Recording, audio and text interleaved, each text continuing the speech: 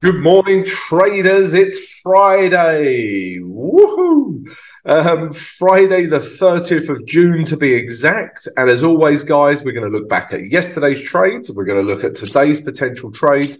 And we're going to look at the important news for today as well.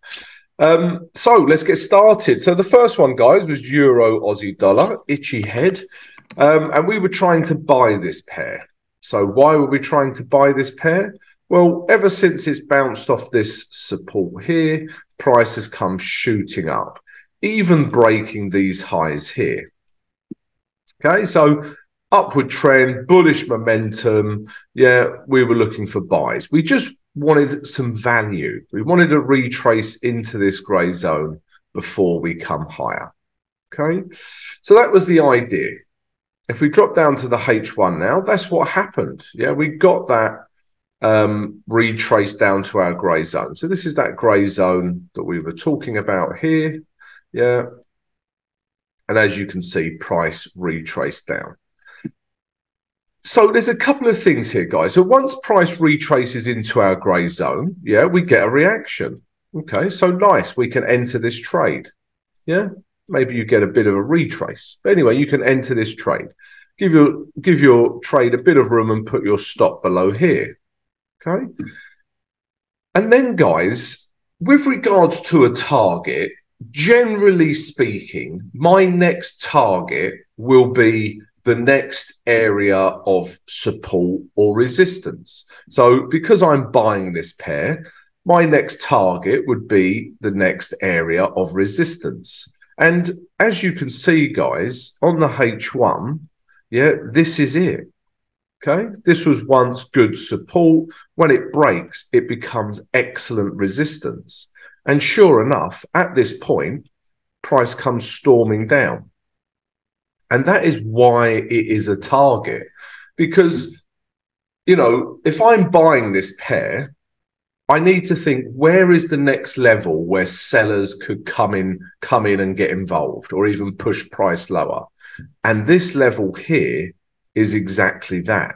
Yeah, this is a nice setup for a short at this level. Okay, so you need to be aware of that. You need to be able to read those charts.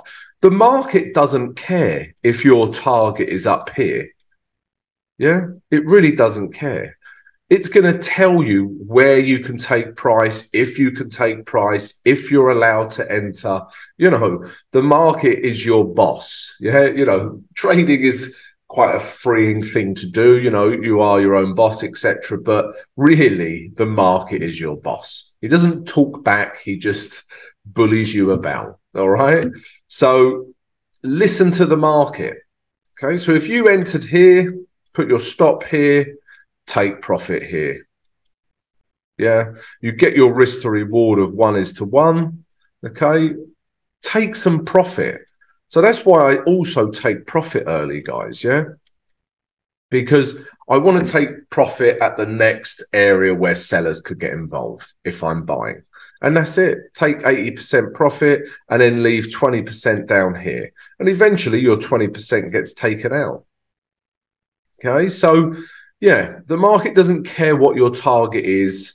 Your target should realistically be you know, depending on what time frame you trade, should be the next level of support or resistance.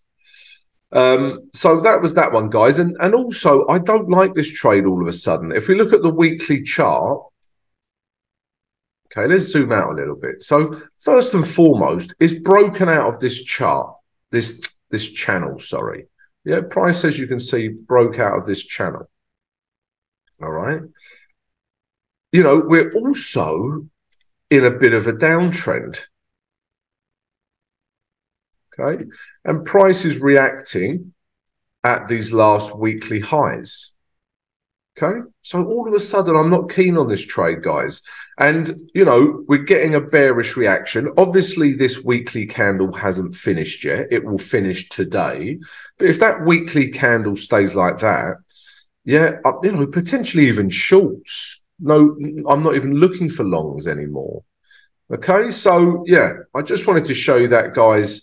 Yeah, I won't be trading Euro Aussie dollar. I will wait for this weekly candle to finish. So that was the first trade, guys. Lots of learning in the first trade. The next one was this, guys, was New Zealand dollar against the US dollar. So why, why, or how are we trying to trade this? Well, we were trying to short this pair. Let's start with the day chart. Why were we trying to short this? Well, price has come breaking down. So at this point, guys, we're in an uptrend. Yeah. Yeah. Price comes down, comes back up. We're still in an uptrend. Price holds on to these lows, pushes back up. We're still in an uptrend, but we're starting to see lower highs. Yeah. This is a red flag. And then bang. Yeah. Price totally breaks down, breaking these lows here. All right. So we've got lower lows, lower highs. We are in a downtrend. Okay. And the idea with this downtrend was just to follow it back down to this last lows here. Okay. It is 6041. If we drop down to the H1 now, guys, what were we looking at? So there was this, there was this level through here, guys, on the H1. So price had come down. Yeah, it just wasn't breaking this level. All right. But price was a bit, you know, this is just whips whipsawy, not nice price action to trade. Yeah, just got buyers and sellers. And then at this point, yeah, we actually get a break of these highs here. You know, so potentially, you know, it had room to the next grey level. All right. But news kicked in. Yeah, there was very good GDP figures and initial jobless claims for US dollar. And then we saw this candle. Okay. And then at this point, guys, you know, I, I like to wait and let the dust settle. But, you know, at this point, if you entered here, your target's here, your stop loss is up here, you know, the risk to reward doesn't make sense. Yeah, there's not value in this trade. Okay, so for me, it was no trade, and it, it'll be interesting to see what price does again at this level today. If we get a bearish reaction, then okay, maybe we could start taking price lower again. But that news pushed this trade in our direction, but pushed it so far that the risk to reward didn't make sense. Yeah, this was your risk, and this was your reward. Yeah, doesn't make sense. All right, guys. So that was New Zealand dollar, US dollar, and then gold. Gold is the trade that I liked. All right. So yeah, let's start with the day chart. So we were trying to short this pair, guys. All right. So you can see price was in this sort of choppy area and then it broke down with this candle. This was the catalyst for shorts, this candle here. And then price retraced into our grey zone. And then we wanted to take price lower, potentially all the way down to this 1892 level. All right. And that's pretty much what happened. Um, if we drop down to the H1 now, what were we seeing? So I was just trying to follow this H1 structure down, guys. Yeah. So you can see H1 structure is in a downtrend. Yeah. So these are the last highs here. If it doesn't break this, I'm okay. Price retraced a little. I got in around here. Okay. Put my stop above here. Okay. And then price, you know, was getting a little bit worried at this point. And then at this stage, again, we had news coming out, and news just absolutely drove this pair down. Okay. So I actually took some profit at 1900, closed 80% of my trade here. Okay. And then I'm still in this trade for 20%. But this is another good example of taking some profit. Yeah you know, imagine price come all the way down here and you didn't take any profit, only for price to come back up here. You would be sick. yeah, you would. You'd be like, why didn't I take some profit? You know, I'm not saying you have to close all the trade because our our daily view of this pair is still to short this pair. But take some profit. All right. So yeah, I took some, like I say, guys, entered in here, stop here, took some profit at 1900, roughly one is to one. Okay. And I'm still in this trade for 20%. My stop is still here. So let's see. Okay. If we get another reaction, I might even enter more uh, another trade. I'm in it for 20%. I could still enter this for another 100% if I wanted to. Yeah. And then trade it again as if it was a separate trade. Okay. So, yeah, gold, nice trade, nice profit, a um, little bit news driven, but, you know, it's still in a downtrend, the day chart. So those were yesterday's trades, guys. Let's take a look at today's trades now. Guys, if you enjoyed yesterday's recap, maybe you took some of the trades, then come join us. Subscribe to the channel, smash the notification button, and if everyone, please, right now, could smash the like button. Thank you very much. Yeah, help support the channel. Thank you. Um, so, trades for Friday, the 30th of June. Before we get started, guys, let me just tell you a few things that we do as part of our channel. Um, so, first of all, guys, we've got a free Discord channel. You'll find the link in the video description. Come join it. It's free. You get trade ideas, access to other traders, indicators, useful links general chit chat about trades. You know, it's a real nice community to join, guys. So come join the free Discord. We also have VIP Discord, guys. So VIP Discord is basically uh, you have to pay for this but you get access to me throughout the trading day. So you can ask me questions throughout the day. I give you my trade ideas as and when they happen. We give you lots of exclusive content. You get access to a performance coach and other VIP members, guys. We also have two other expert traders sharing their ideas as well. So lots to like on the VIP Discord, guys. Um, what do we do next? We also have, yeah, a mentorship program, guys. If you would like to be coached one on one with myself, then drop us an email and we'll send you all the details about the mentorship program. The email is in the video description. Um, thirdly, guys, we've also got YouTube membership. If you watch our videos every, uh, every day, watch our live streams every day, then you can show your support, guys, and join YouTube membership. It's only sort of like one pound fifty or something like that a month, and you also get access to you know some perks and some exclusive content as well, guys. So yeah, come become uh, become a YouTube member. And finally, guys, don't forget the live streams every day, Monday to Thursday, eight a.m. New York EST time. Come join us for those. Um, right, that's everything we do, guys. Let's take a look at uh, the trades now for Friday, the 30th of June. The first one is this, guys uh, Euro against the Canadian dollar. All right. And what are we seeing? So we are in a downtrend. All right. We wasn't sure what was going on with this grey zone here. Did it break it? But anyway, it broke back down, broke these lows. So we got lower lows come back up, never broke these highs. Okay, so we're still in a downtrend and we got this super bearish candle, guys. All right. So basically, guys, on the back of this bearish candle, we're trying to follow this selling momentum back down to this, this area here. I'm going to move my target now. Okay, so let's make it around 4350. Yeah. Why am I moving my target? Well, you can see, guys, we are potentially starting to make higher lows.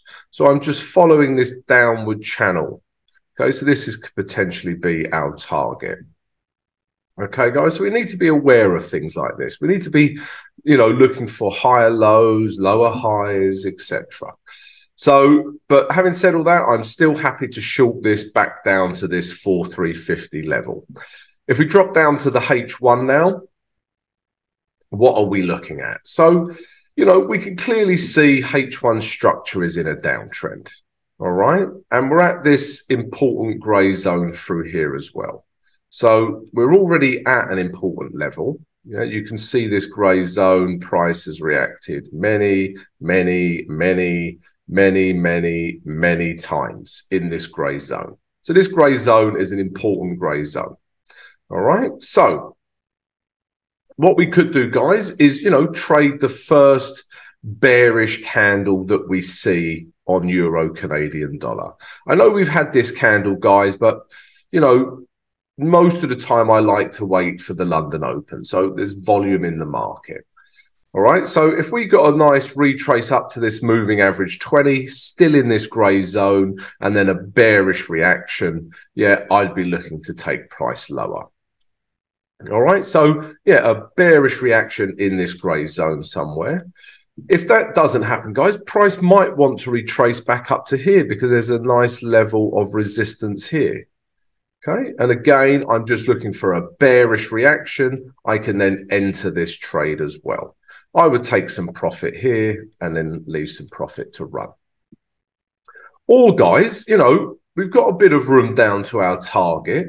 You know, perhaps this is the candle that price wants to come lower on. So if we get something like this and a candle that breaks these lows, you know, perhaps a candle like this that breaks these lows, again, we can enter on there, put our stop here and take price back down to here. So a few ways of what I'm, you know, ways we can trade euro Canadian dollar, and that's what I'm looking at. So euro Canadian dollar short is the first trade idea. The second trade idea, guys, is this is euro against a pound. So we're seeing a bit of euro weakness. All right. And let's start with the weekly chart here, guys, because this weekly chart you know, is filling us with confidence to take this lower because this is clearly in a downtrend. All right. And you can see, let me really zoom in, guys. Okay. So you can see these wicks on these candles, this wick, this wick. And, you know, potentially this weekly candle hasn't finished forming, but we're seeing a nice wick so far, you know, bouncing off of this level. So on the weekly chart, I think we've still got a bit of room to move into. Okay. Um, if we drop down to the daily chart now, yeah, it may not be as clear on the day chart, but you can see this level through here, price reacted, yeah, followed by a bearish candle. And what I also like, guys, remember this is your job to find reasons why you like a trade. Yeah. Um, these highs never broke. This high here, this high here, because of this wick closing back inside, it never broke this high. Okay. Plus, we've had a bearish candle. I still think we have a bit of room to come down into. Um, so that's what we're looking at, guys. If we look at the H1 now, um, yeah, we've got a nice area here where we we could look to trade. So you can see it was once good support, guys. So when price retraces into here, it could become good resistance. And we've got the moving average 20 coming down. So yeah, I really like this gray zone for a short. Okay. Um, so that's what I want to see. I want to see price retrace into here. I want to see a bearish reaction. I would start selling this pair. As I explained earlier, guys, I will take profit at the first area of resistance. I know our target is down here, but I will take profit. Yeah, chances are this will bounce back up. Yeah, and then you can get in again anyway. Okay, but yeah, take profit at the first piece of resistance. You can always get back into the trade and add more trades to it. Okay. So yeah, that's what I'll be looking to do, guys. Yeah, in here, bearish reaction, back down to here. Take some profit, leave some money to run. Um, so that's euro pound, guys. I mean, it, it, you know, again, technically, you're only wrong if it breaks this level. If it starts breaking this level, I'm not interested. But if price did come back up to here, yeah, this level, and we got a bearish reaction again, then okay, I still think we have a trade on our hands. Um, so that's euro pound. We're looking to short that pair. And I've got one more trade today, guys. But before I show you the trade idea, if I could ask everyone right now to smash the like button while I have a drink. Yeah, thank you very much. Okay, guys. So, yeah, Thank you for smashing the like button. It helps support the channel. Thank you. Um, my last trade idea, and also don't forget all the things we do, guys. Yeah, we've got the free Discord, VIP Discord, mentorship program, YouTube membership, and live streams. Loads of cool things to enjoy. The last trade is this, guys, is New Zealand dollar against the US dollar. Still looking to short this pair. If we start with the day chart, yeah, not much has changed, guys. Yes, we're still looking to short this pair. So we were in an uptrend. Yeah, but then price has sort of slowly started to break down. Okay, and then once we saw this candle here breaking all of these lows, yeah, we're in a downtrend. We started to see lower highs before then, but we're clearly in a downtrend. And the idea is just to take price back down to this level. Okay, back down to these lows. So not much has changed with regards to this trade, guys. If we drop down to H1, yeah, this I'll, I'll probably adjust this level now just to include those last highs. Okay, so there's still this level here. Yeah, if we get a bearish reaction at this level, yeah, I'll take price lower. Okay, so it could react in here, guys. Bearish reaction, we take price lower. If not, there is this other level here. Okay. Um, it'll probably be best to show you this on the H4, guys. Yeah, sometimes the H4 just makes things a little bit clearer. So there is this level here, guys, because this is the last H4 low here.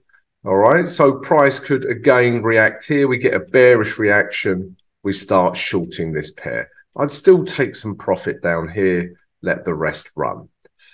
What you might find, guys, is this is that price comes up, pokes his head out of this grey zone, hits the moving tw- average 20, and we get a large wick back into this zone. Maybe a you know a green candle that looks like this. Okay, we might get something like that. Touches that moving average 20. Wick closes back into this grey zone on the H4. You know, you might see something like that happen, and then we can start shorting this pair as well. All right, guys. So, uh, yeah, those are the trade ideas for today. If you've liked them, smash the like button. Um, let's take a look at the news now. So news for Friday, the 30th of June. Um, so nothing overnight, guys. Well, we had a bit of manufacturing PMI come out of China, but as expected, the first piece of news we're interested in, guys, is this. This is big news at seven o'clock, London GMT. we've got the GDP of the UK. So we've got quarter on quarter and year on year. So lots of eyes are on GDP at the moment. You know, people keep talking about a potential recession. So people really want to see growth in those GDP figures. Like we saw yesterday uh, with the USA GDP figures. So, yeah, this is really going to move the pound at seven o'clock London GMT, guys. Um, if we carry on down, what else are we looking at? So, another piece of big news at 10 o'clock, London GMT, coming out of the Euro, we've got CPI data. Again, I don't need to explain how important CPI is because it is an indicator of inflation. Okay, so this is going to be big news at 10 o'clock and really move any Euro pair. If we carry on down, guys, at 130 coming out of the US, we've got core PCE price index. So again, another three star rating that could move the dollar. And then if we carry on down, guys, after that, you are free to trade. All right, guys. So, yeah, that is the news for today. I hope you've enjoyed the vid. If you have, everyone, please smash the like button.